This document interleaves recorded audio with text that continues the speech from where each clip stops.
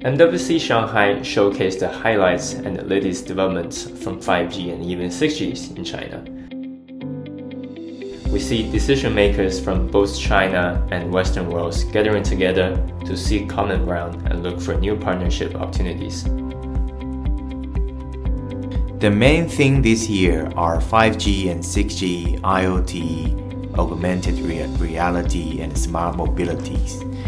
Lots of innovative 5G applications around smart manufacturing, smart home, and car connectivity.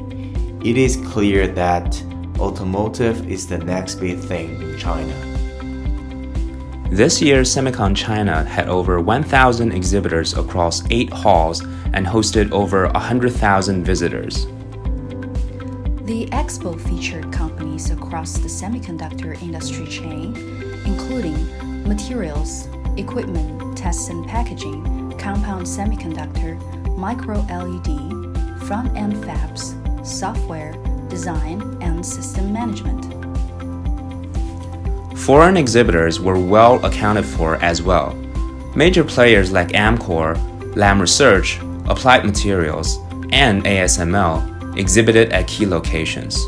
AI was a strong trend at Semicon China.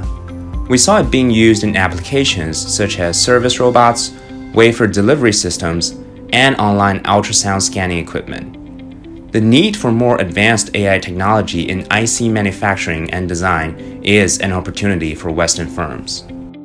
If you're thinking of growing your business in China, Intralink can help represent you at these events and expand your BD footprint in China and throughout Asia.